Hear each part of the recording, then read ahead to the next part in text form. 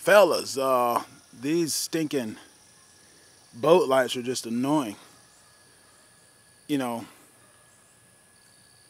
they sell them as submersible, giving you the illusion that it's waterproof, and it isn't, which is lame. I hate it when marketing submersible just simply means it's temporarily able to put it underwater and then you have to take it back out.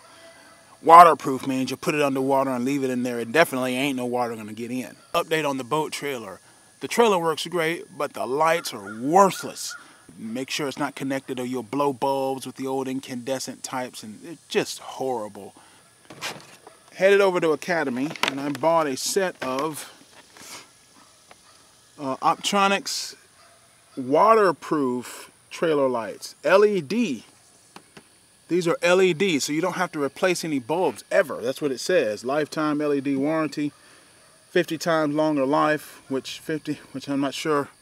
With these incandescents, that's not really saying much, but if you don't have to replace the bulbs. I noticed that the wire, each light has its own ground, whereas with the old, it was just positive, negative, and that's all you got. Okay, so the old ones are gonna come off 7, 7 sixteenths.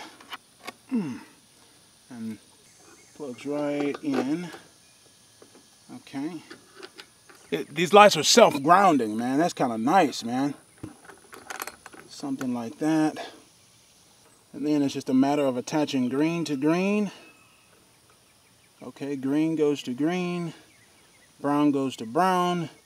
Same thing for the other side, and we're ready for a test run.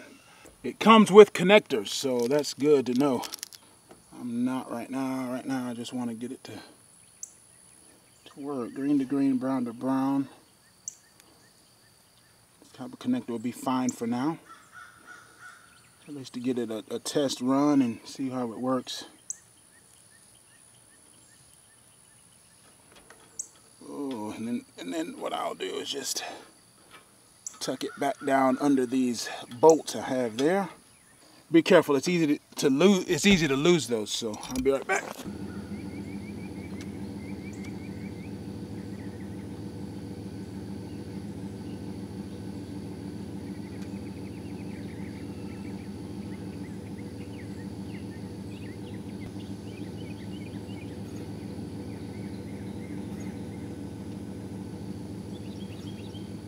So, hey, they work. And uh, I got mine from Academy. It's Optronics waterproof LED lights. Make sure it says waterproof, not submersible. Because submersible just means it's just going to work kind of halfway, you know. You could probably buy it from Amazon if, if YouTube is showing the various sales links to the Amazon page. You can do that and that'll help the channel out. But uh, in any way, you know, you got to have running lights when you're running a trailer and uh, that's a good way to get uh, for those of you who are running the old style lights and it's a good upgrade. Cost me $30 that's not a bad inning. Check them out and uh, I'll see you when we get back out in the river